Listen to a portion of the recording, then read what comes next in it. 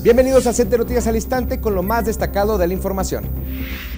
Hoy, más que nunca, el CENTE demuestra su fortaleza y unidad, como lo confirman los recientes congresos para renovar dirigencias en siete secciones sindicales, aseguró el secretario general maestro Alfonso Cepeda Salas durante una gira por Colima.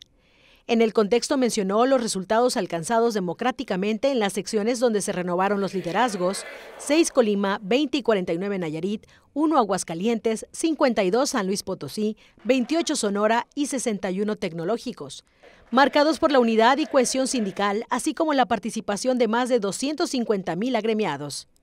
Enfatizó que han sido procesos con voto universal, secreto, directo y nominal, lo que ha validado la legitimidad de los nuevos secretarios generales, emanados de elecciones transparentes y de respeto a la pluralidad. Hoy, dijo el CENTE, vive una nueva era donde las decisiones las toman en colectivo los agremiados y advirtió que no hay regreso al pasado cuando los dirigentes se pretendían eternizar.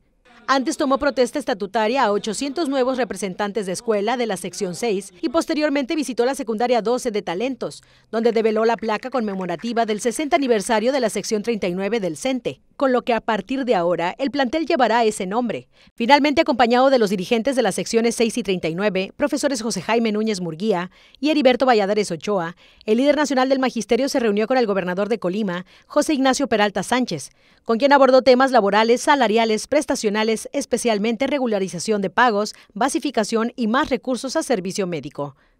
Con imágenes de Gerardo Rivas, Santa Fe Martínez, Cente Noticias. Gracias por acompañarnos a Cente Noticias al Instante. Soy Rodrigo Maínez y justo aquí y ahora está usted informado.